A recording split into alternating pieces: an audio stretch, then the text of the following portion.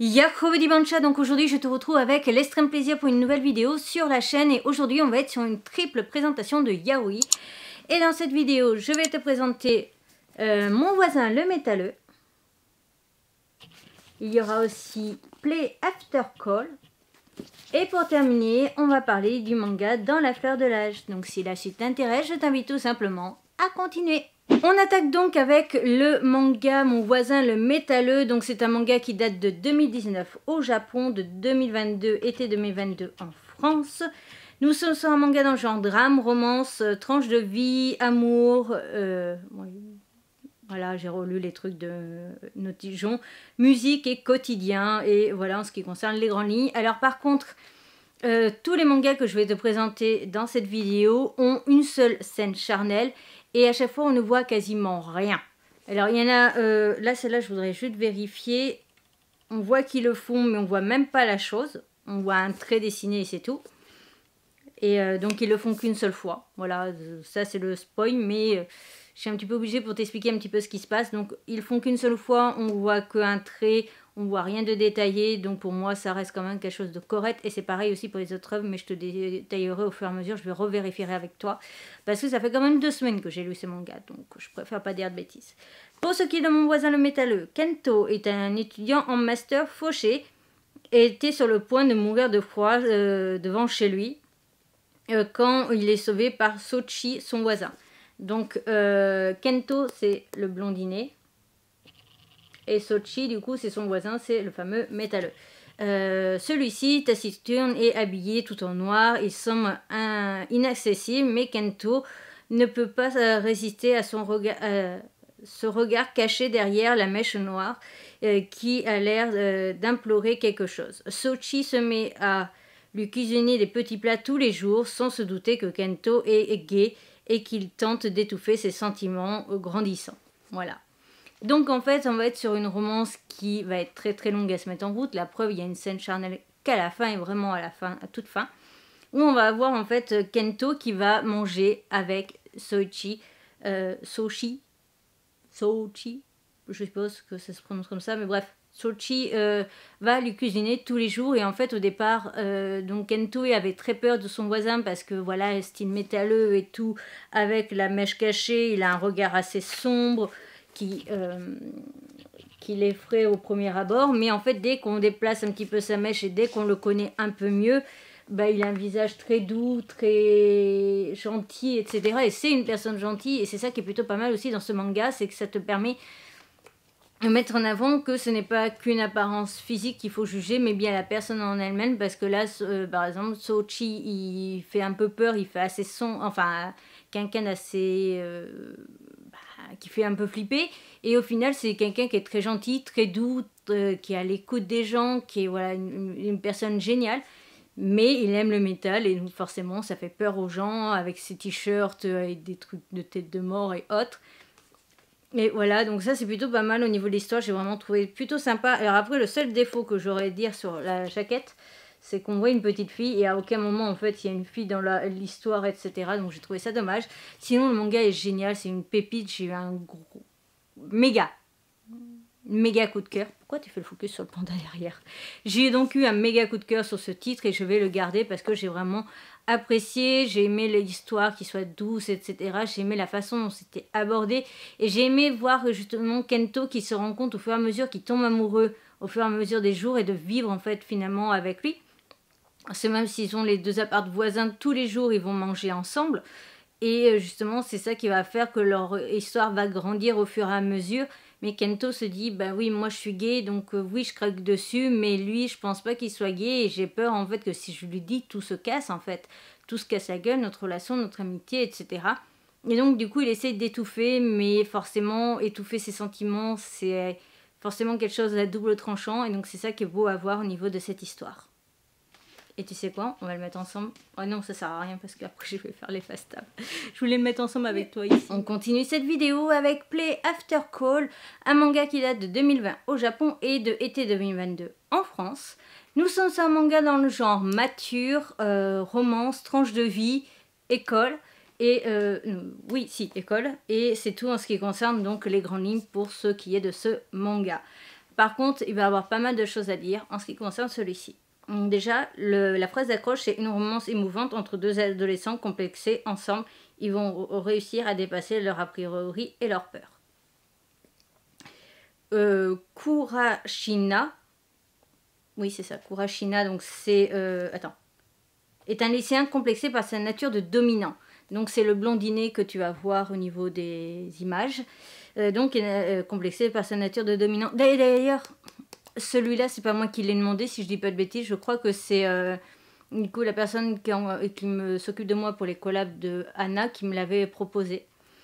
Euh, il développe euh, également un complexe d'infériorité face à Ishiki, euh, l'imposant président du conseil des élèves, mais un jour, Kurashina découvre que Ishiki, effondré dans les escaliers du lycée, ne pouvant ignorer son camarade dans cet état de faiblesse si inhabituel, il décide de, venir de lui venir en aide. C'est à ce moment-là que Ikishi lui avoue qu'il est en réalité de nature soumise, jusque-là persuadé que c'était le contraire. Kurashina euh, se sent alors envahi de par la culpabilité d'avoir, euh, pour avoir eu cette attitude aussi euh, froide envers lui. Comme pour se faire pardonner, le lycéen propose alors à son camarade un jeu de rôle léger pour résoudre ses problèmes de santé provoqués par l'absence de euh, communication avec ses partenaire dominant. Une jeunesse tourmentée par le euh, un dominant sensuel et insoumis dont les sentiments balancent entre partenaires et amants. Alors en fait, on est là euh, dans un monde carrément à part. Alors je sais pas si ça compte dans leur truc de Oméga et tout ça parce que j'ai jamais lu et j'en lis pas et voilà, c'est pas mon délire. Mais là, en fait, on est dans un monde où on nous explique bien, et on leur explique pendant les cours, que les dominants ont un rôle à jouer par rapport à la relation avec leurs soumis. Et en fait, c'est, j'ai l'impression que ça penche vers le SMBD, mais c'est dans le bon ordre. Voilà. Euh, tout simplement parce que, en fait, donc il y a cette histoire de dominant et de soumis, et là, on, est dans un monde où si un soumis n'a pas régulièrement des ordres donnés par un dominant, il a des problèmes de santé et il faut qu'il prenne des médicaments. Et pareil, apparemment, ils ont des médicaments pour les dominants, etc. Et c'est à ce moment-là, en fait, que. Euh, j'ai perdu son nom. Euh, Kurashina découvre que Ishiki est euh, soumis parce que tout simplement, au départ, il veut lui prêter ses médicaments et il lui dit maintenant, je peux pas parce que moi, je suis un soumis, je suis pas un homme. Et c'est là que tout va commencer. Donc, ils vont commencer à avoir une relation d'homme-sub ensemble, tout simplement parce que donc, il faudrait apparemment dans ce monde-là que les subs reçoivent souvent, régulièrement, des ordres de la part d'un dominant. Et on découvre après par la suite que Ishiki en avait par la part de quelqu'un dans l'école et que c'était juste euh, platonique, c'était aucune vraie relation et tout ça, c'était plus des ordres genre euh, porte-moi mes affaires euh, jusqu'à la classe ou des trucs comme ça. Et là, ils vont avoir aussi un petit peu ce genre de relation-là au tout début, puis ça va un petit peu évoluer et grandir vers la relation de couple.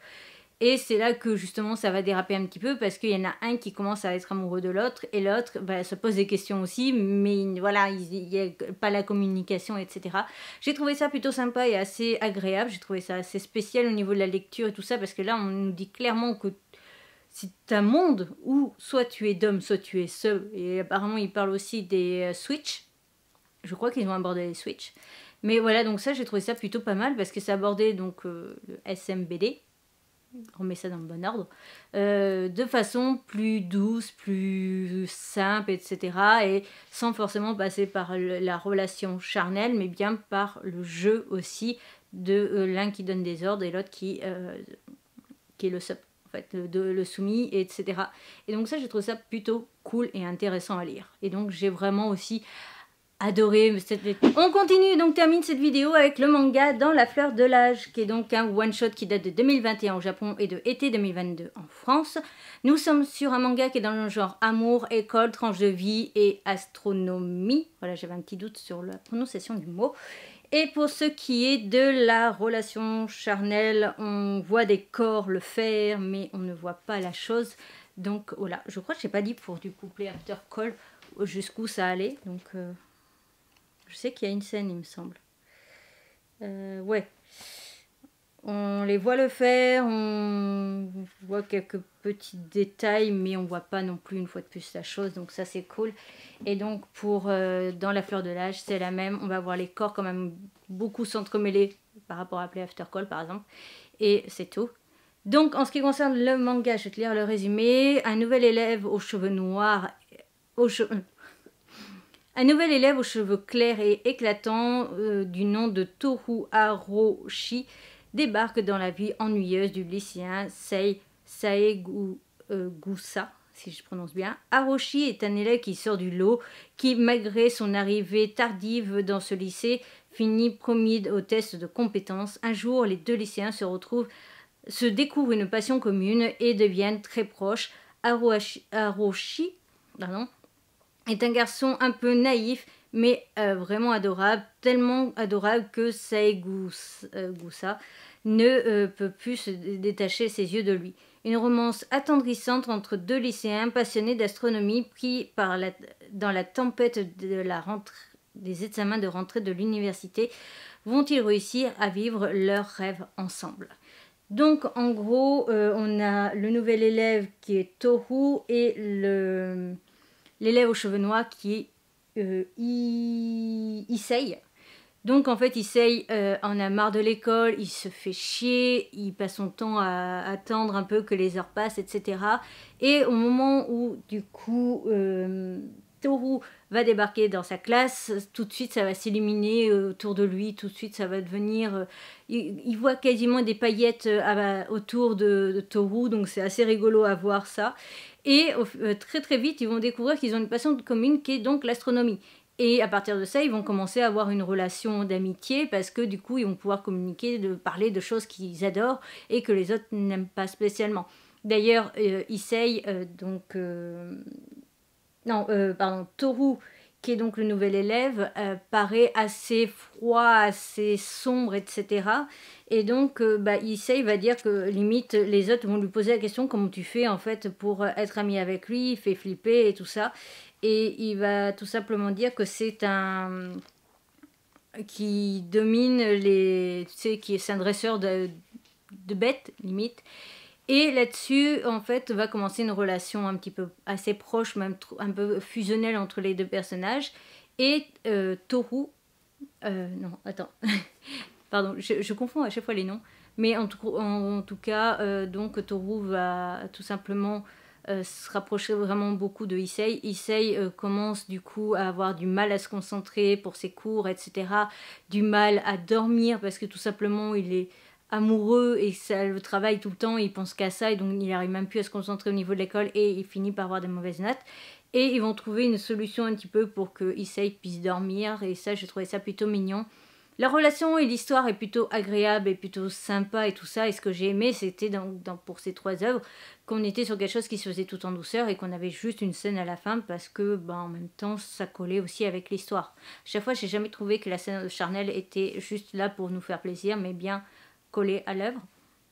Mais je ne saurais pas te dire pourquoi, le pourquoi du comment, mais c'est le manga que j'ai le moins aimé. On est quand même sur un coup de cœur, mais ça ne va pas plus loin et j'ai envie de le relire. Autant où sur les deux autres œuvres, je les ai vraiment appréciées et j'ai vraiment envie de les relire un peu plus tard, dans 4-5 ans, un truc comme ça. Donc voilà en ce qui concerne les grands lits. Celui-ci est plutôt agréable, sympa et j'ai bien aimé parce que par contre la partie astronomie, quand il commence à parler d'astronomie, saute les pages, euh, enfin saute les bulles parce que très clairement il n'y a rien à apprendre et c'est bourratif plutôt qu'autre chose. C'est vraiment juste pour eux, entre eux, pour se prouver qu'ils y connaissent, etc. D'ailleurs, les deux personnages envisagent euh, au niveau de la fac, du coup, d'aller dans une fac en rapport avec l'astronomie. Est-ce qu'ils y arriveront ou pas? Est-ce qu'ils vont pouvoir du coup aller dans la même fac ou pas? Ça, je laisserai le découvrir. Mais j'ai trouvé quand même l'idée plutôt sympa. Cette vidéo est donc à présent terminée. J'espère de tout mon cœur qu'elle t'aura plu. Si c'est le cas, n'hésite surtout pas à me le faire savoir. On like, on commente ou on partage comme d'hab. N'hésite pas à aller voir dans la barre d'infos. Je te mettrai la liste des trois prochains titres Yaoi que je présenterai lors d'une triple présentation et à me rejoindre sur Instagram si tu veux participer pour sélectionner du coup par exemple les prochains yaoi que je présente. Je te mets euh, de précédentes vidéos des éditions Anna ici, ma tête de panda pour t'abonner si ce n'est toujours pas fait, mes réseaux sociaux, le compte Vinted. Dans la barre d'infos, tu as des codes promo pour pas mal de sites, des vers mes autres réseaux sociaux dont un qui est récent et qui est pour ceux qui sont autour de Bordeaux. Et aussi tu as les informations comme le matériel que j'utilise, etc. Sur ce, à bientôt